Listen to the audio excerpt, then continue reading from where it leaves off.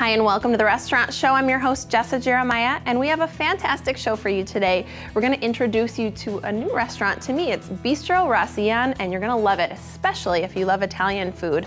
We've also got the Egg and I joining us, and they are doing one of their Texas skillets that is so, so good. You're not gonna wanna miss that one. And the River Food Pantry is being joined by the Daisy Cafe and Cupcakery to highlight one of their fabulous events and of course some great cupcakes. It's all on your guide to the best restaurants in town so you can skip the rest and enjoy the best. We'll tell you where to go coming up on the Restaurant Show. Hi and welcome back to the Restaurant Show. I'm pretty excited about this show because we've got quite the spread here, and I'm going to learn a little bit about a restaurant I haven't yet learned much about. So I'm excited to chat with Ian Anderson. He is the owner of Bistro Racien. Very good. I've been practicing my pronunciation. I think I got it. So thanks for being here. Thank you for having us. I'm really glad to have you. Now, this looks like a lot of good food. We're gonna run through some of the things that we have on the table today for you folks at home. And as always, I'll make sure and let you know if it is as delicious as it looks. Of course it is. So, um, one of the things we're talking a little bit about today is pizza. And you have some pizza that is, first of all, I love the fact that you've done a half and half. Yes. Because then you can please everybody in the house, right? Yeah, we and get a everyone lot of at that. the restaurant. Yep. So, a half and half pizza is always good. But what makes your pizza different, do you think? Besides the fact that I can guarantee nowhere in Madison has the chef back there toiling, hand mixing 25 pounds of pizza dough at a time. Oh my goodness. Yes. 25 pounds. Everything's by hand, everything's from scratch. Wow, So- that's really great. We love to feature restaurants like that because it's so it's getting rarer and rarer. People are taking more and more shortcuts, and so it's so nice to have somebody that uh, has everything by by hand and 25 pounds at that. What does 25 pounds of pizza dough look like? Give me some. About, yeah, a bus tub full. Yeah, that's a lot. Okay, so you obviously make a lot of pizza, which is a good sign Yes, it is. people are eating a lot of pizza. Now this one is a half and half. So let's first let's talk about each half individually. Okay, we have the Gotella Versace. This is a little addendum. She threw some extra mozzarella on here today, um, which is goat cheese, uh, spinach, um, and a little of our homemade pesto. Okay. And then the sausage You had he had me at goat cheese. and I'm right. going in. Go in for the kill. Yeah. Okay. So tell me again. Goat cheese. Goat cheese, spinach, and pesto. I blacked out after the goat cheese. Drizzle of pesto. Okay. All right. Looks good. So I'm gonna just for the sake of mess do, go fork, but you know you can eat it however you like when you're at the restaurant. Oh my god, that is awesome. Thank you. Goat cheese. You know, I'm not sure I've often had goat cheese on a pizza. Yeah, we Really like to do a lot of delicate, fresh flavors. You know? Mm-hmm. um, today we brought the sausage as well because we blend our own sausage. We get raw sausage and then we blend it with our own herbs, Okay. et cetera, et cetera. Um, Look at that. and speaking of herbs, we do 90% of our herbs Mm-hmm. and uh, produce come from a local organic farm right outside of Columbus. Oh, Columbus. that's so nice. So, okay. Um, I love that. So we'll dig into this this one here too. Yeah, Notice I'm getting the biggest piece, not an accident, folks. Don't adjust your set. All right, so this one looks awesome too. And now I've got a plate full. But that's the best part about half and half is you can try different kinds, right? So I'm going to tell you what I tell the customers: pace Okay. Oh. yourselves, because you know this is all a whole lot of stuff going on. It is. it's a lot. And of course, with every meal, we make a home baked challah bread With an olive oil and herb dipping oil for each table. And she literally bakes that in house, knots it in house. Everything is fresh, fresh, fresh. I love the sauce. Really good. Ancient Brooklyn secret. Oh my gosh. Oh, you're not gonna give me you're not giving me the, Nope. the ingredients today on TV, huh? Nope. All right. I'll make room here.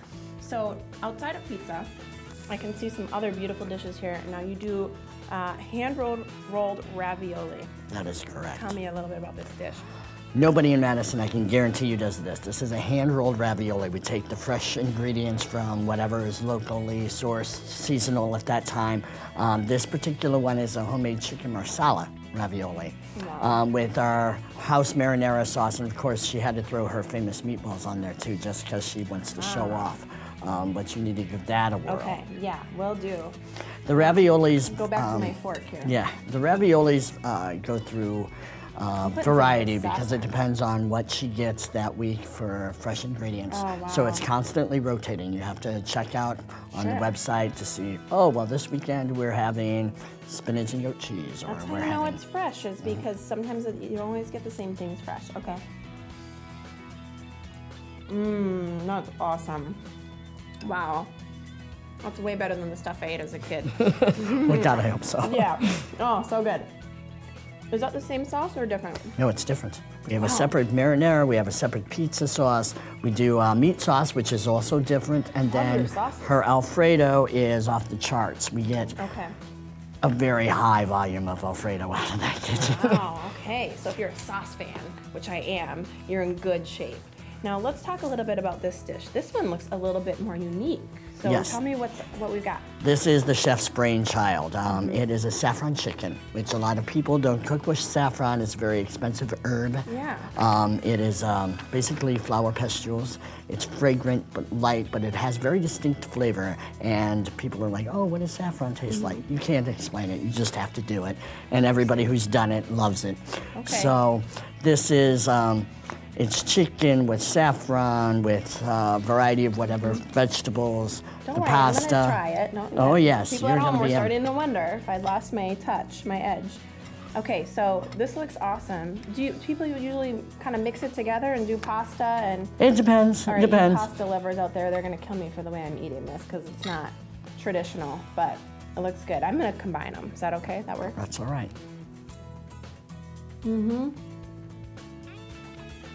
Made a mess as usual. Half of it's in my hand, but the part that's in my mouth is spectacular. Really Yeah. good. Now, what's that? What is the flavor of saffron? You kind of explained it. It's a unique flavor. It is, and like I said, it's it's fragrant and bold, but you only need a little bit, a touch. You're right. Yeah. And you can't explain it. You just veggies. kind of have. It doesn't compare to anything else. It doesn't compare it pair Mm. to other herbs. So you really have to just go with it. It's all good. I don't know what I would order when I when I visit next. It's all delicious, but um, some great sauces. Of course, the best is last. She makes Oh. a homemade panna cotta. She does homemade tiramisu. All of the desserts are scratch, scratch, and they. The tiramisu and the cannolis Mm-hmm. are standard, but the panna cotta, which is a great light pudding-like Mm-hmm. dessert, is so easy to blend with any flavor. So she'll go berries. This is a salted caramel panna cotta. Okay. Oh, this is so good. Wow. I'm going in for a second one. We're gonna go to break. but it's all fabulous food. I love it. Thank you for sharing this with us. Thank you. This is Ian Anderson with Bistro Racian. Thanks for being here. Thank you. Thank you for being here. We got more coming up after the break, so stay right there. Stick around because after the break, the Daisy Cafe and Cupcakery is telling us how we can give back to the River Food Pantry.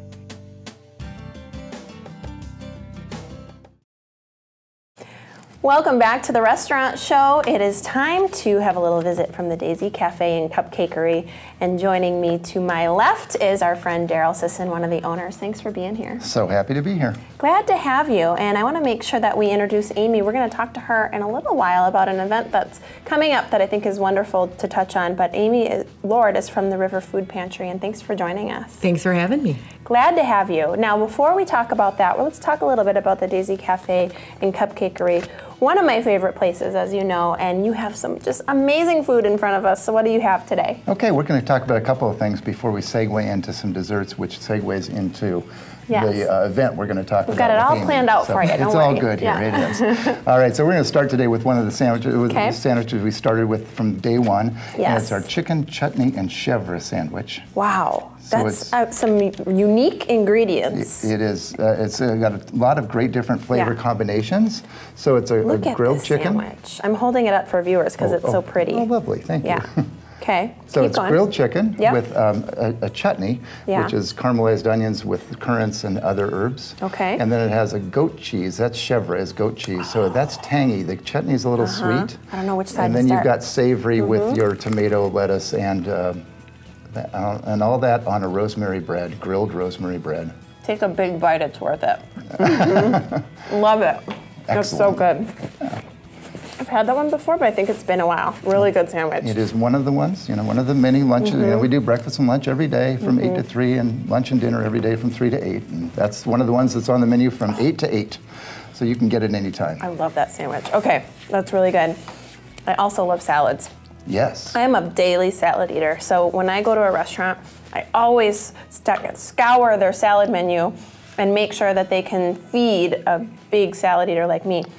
not only do I eat a lot of salads, I like a big salad. So Good. you got one here. What is this one? I was going to say our salads are all hearty, and we Yeah. have several of them. The one I brought today is a, our smoked salmon salad. Okay. So it starts with spring greens. Yes. It's got um, smoked salmon, um, uh, uh, gorgonzola cheese, oh, yeah, okay. dried cherries, What's the dressing? red onion. I'm getting there. Oh, I'm cheating. I'm skipping ahead. I can't wait. so many ingredients. I've Yeah. got uh, dried, uh, dried cherries, red onion, and cashews. Okay. And then the and we just have our get it all.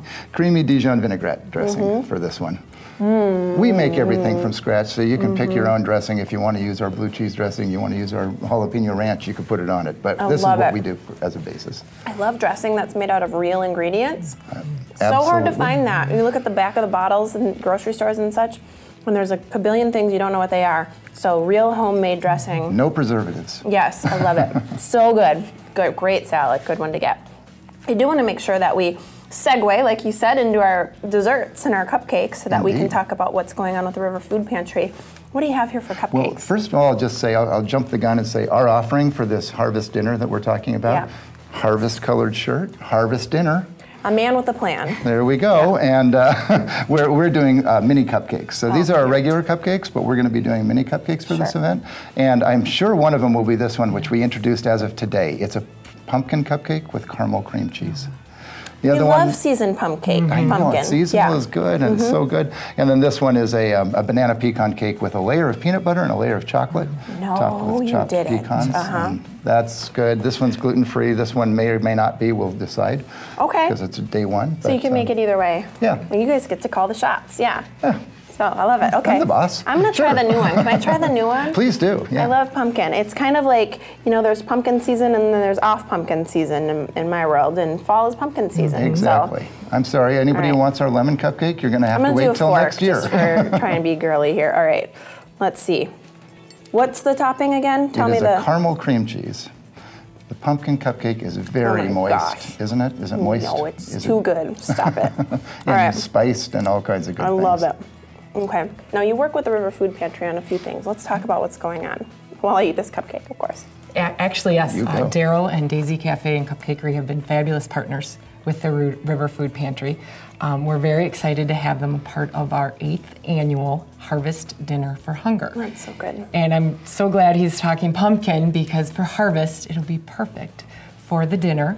Um, it is Sunday, October 1st. Okay. So less than a month away. Yes. Um, it is our largest fundraiser.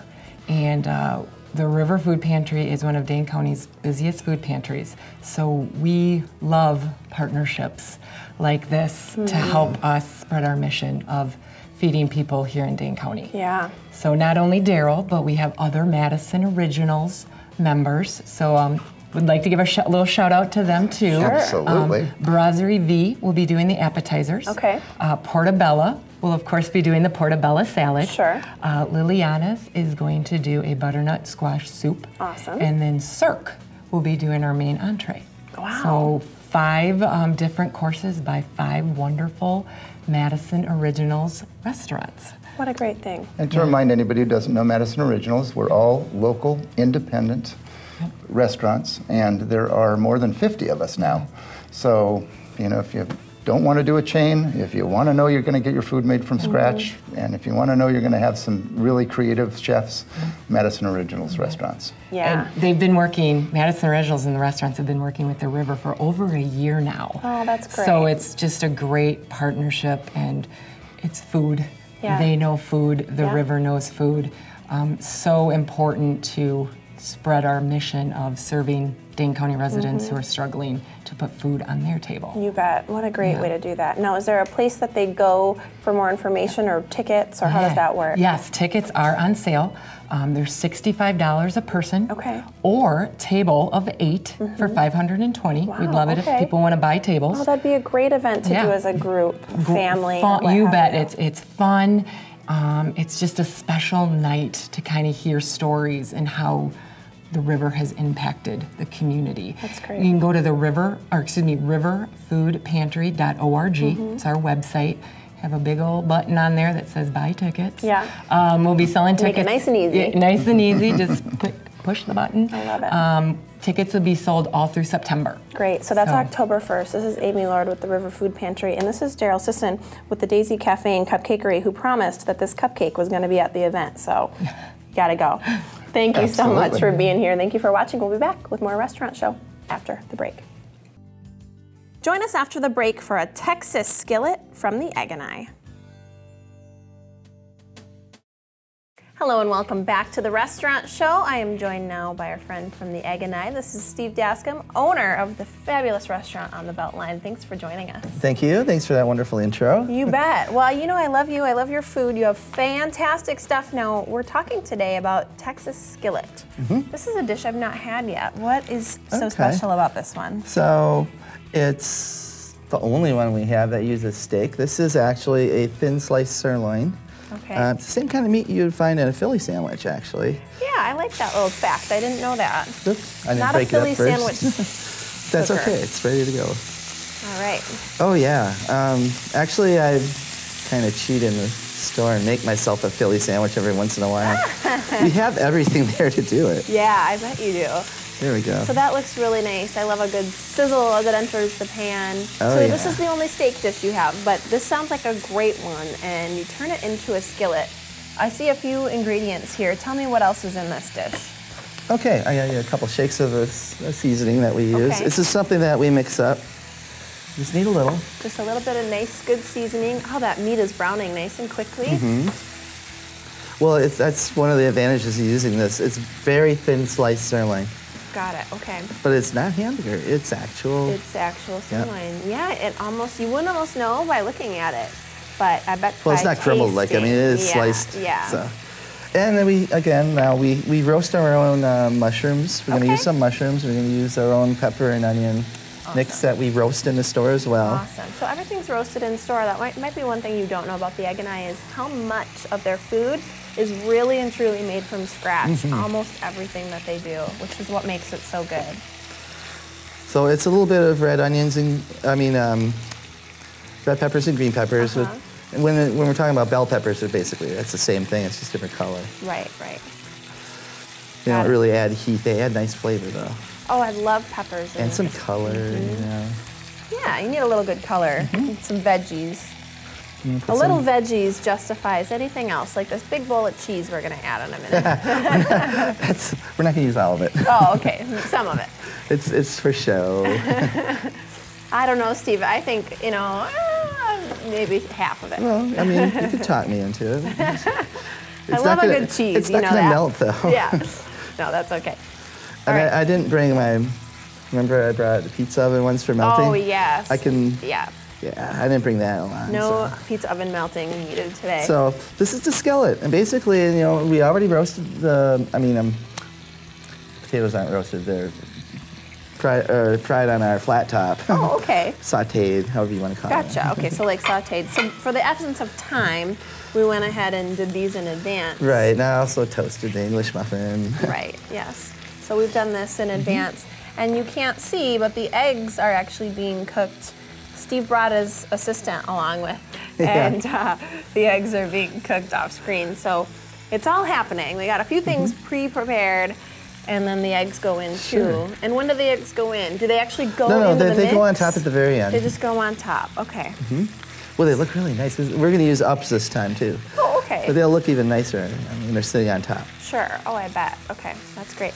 Now, one thing I wanted to talk about too, obviously, with fall upcoming here and lots of kids back to school, now it's okay to still have some summer items because I'm not over summer yet. I don't know if you guys are at home, but Steve's still got some great summer menu uh, items that I think you'll be really excited about. One of my favorites we did on the show. Uh, I don't, maybe a couple months ago. That was pork bellies The pork belly Benedict. Oh, man. So delicious. So that's still available. That's still available. So not sure how long, but it is a Yeah, summer we- item. I'm just running it out. I have a, a bunch left, and uh, Yeah. this is I- it's I- too good not to run it out. It's such a good, yeah, a good seller and an awesome tasting dish. So highly recommend the pork bellies. Um, and then they've still got cheesecake French toast, Sure. which says it all, right? What's not to love? And then you also have a quinoa dish, do you not? Uh huh. Yeah, it's a kale quinoa um, scramble. Yeah, that's Remember- right. I did Yep, that one in a two-part episode You recently. did. Yep, I'm gonna put this right. on here. I got to get it straight. I just about could work there. I think I, I think I know the menu well enough at this point. So if you're looking for help, I'll be there. Okay, I'm gonna cheese it up. This is just a regular uh, Okay. cheddar jack cheese. Love it. Love a good It's cheese. nice. Uh, we'll put it all on for you. Oh, I'm so happy. It covers everything up though when I do that. I know it does, but cheese is so delicious. It's, so worth Wisconsin. it. Yeah. I'm already already have my fork out. They haven't even added the eggs. Okay, so the eggs go on top. I'm gonna. Uh, wow, there's just there's a lot of oil in this pan. Oh, that's okay. This is the the made for Try to do TV. Uh, more oil, more cheese version of this Texas scramble. Oh, you're doing good. There we go. I would have I would have not done so good. Here, I'll help you with a little fork. there you are. Oh, it is so pretty with the eggs on top. So this is the Texas scramble. Now you say lots of people ask you what's in it, right? Or what it A lot of people don't know what's in it, and when they get it, they're surprised by what it looks like. They don't understand how these things are put together and presented. Do, I don't know. I'm gonna cut into an egg. Can I do Um, Oh yeah, that? definitely. I don't know. I, sometimes I'm not sure the right. What's the Texas scramble etiquette, right? Oh well, it's, it's pretty much uh, It's a free for all. in Texas. If it's bigger is better, right? Bigger is better. D- do it however you like.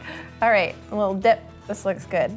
I talked Steve into the extra cheese. Yes, a taste, in, a taste in every bite is what we're looking for. Yeah, see, it's hard to do that, but I think I've managed to layer it up pretty well. Mmm, yeah, delicious. Mm-hmm. A little bit hot, but very Yes, I was gonna delicious. say it looks it's steaming. Oh, it's awesome though. I love it. So good. Okay, so you can get this. You can still get the pork bellies, and then um, for a little bit while longer, the the French toast and the quinoa dish. So if you're still in the mood for summer, but man, this is awesome. I love it. Mhm. And for fall, when we do get that whole menu rolling, Mm-hmm. um, it's going to be. Um, we're, we're already running the soup. It's a harvest bisque. That's an everyday soup along with our daily soup. Oh, awesome. And then we also have um, the pumpkin pecan waffle coming back. Ooh, okay. Some good fall ones. Oh yeah, that and the uh, what do they call it? harvest hash. that Oh, one's wow. really good. We're going to start a new juice, but we haven't started it yet. so- Okay, so to be determined. Steve managed to talk down to the very last second, so we got to go to break. But thanks for being here, Steve. Love it. The Egg and I is on the Beltline. You must go there. It's awesome, and you must stay tuned because we're going to be right back. Thank you so much for joining us for today's restaurant show. I had a ton of fun with you checking out all these great local restaurants. I'm your host, Jessa Jeremiah, reminding you that life is too short to eat average.